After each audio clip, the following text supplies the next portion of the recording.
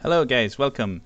Today we're going to be taking a look at uh, JSAUX's back backplate for Steam Deck. This is the OLED version.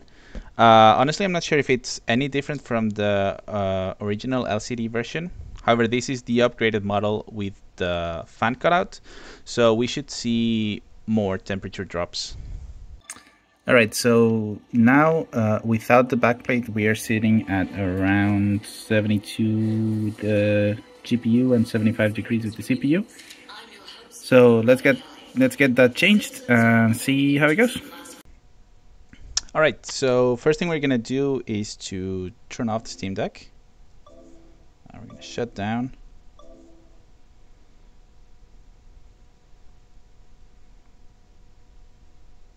Gotta make sure that it's completely off for the next part.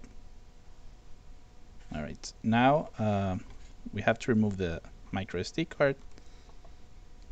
So let's go ahead and do that.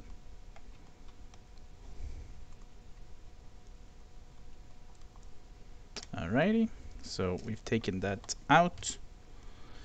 Now we can get started to open it up. So Steam Deck OLED has Torx screws.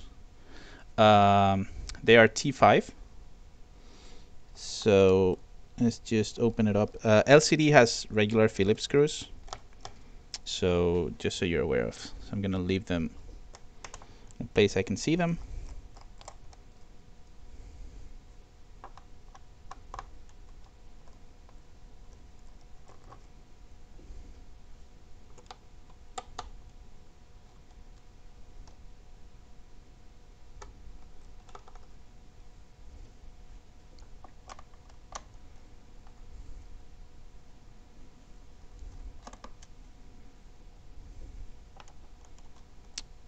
There are a total of eight screws on this console.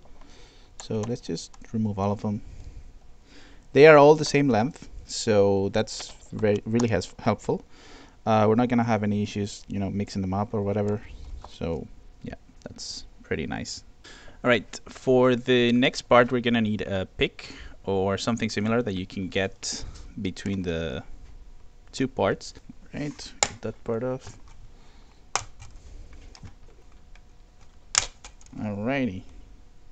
Now we have it off.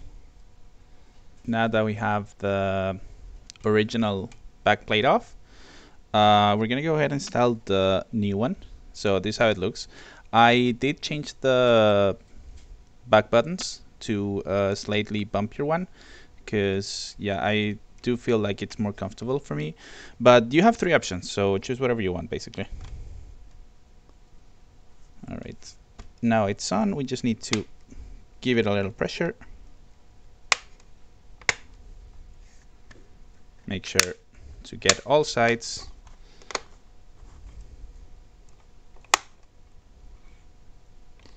So we can see that everything pretty much aligns perfectly. The only thing I'm not honestly convinced about is I don't know if you can see it but the fan is not entirely aligned. So this little hole in the middle is aligned to be in the center of the console. However, the fan is a little bit to the right side of it. So it's a little bit annoying, but you know.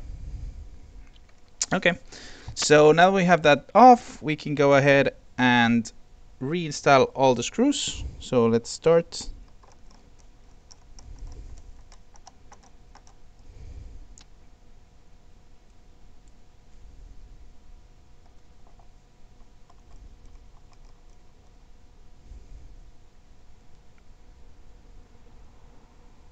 Alrighty. It's three down.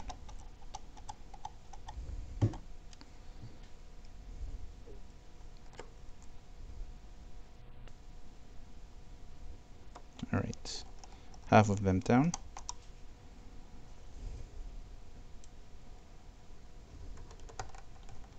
One more here.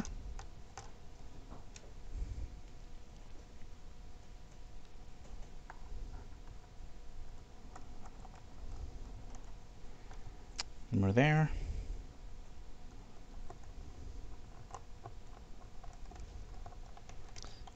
This one here. And the last one here. All right. this does make it feel better for me. I don't know if you can see it, but it's clickier. And the travel is basically the same, but I have to use less strength in order to press it. So yeah, I think that's honestly better. All right, now it's turning back on. Everything works perfectly, so I say let's just jump into a game and see how we're doing.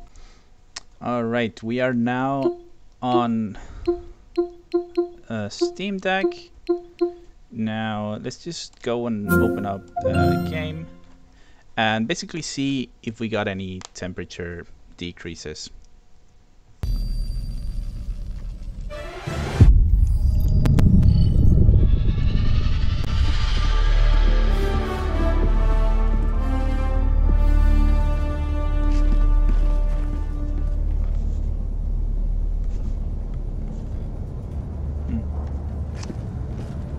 So I can hear that it is um, louder. Obviously, there's no um, there's no plastic. Greetings, Helldiver. You're in the fan The Galactic anymore, War so you can hear the fan a little bit more.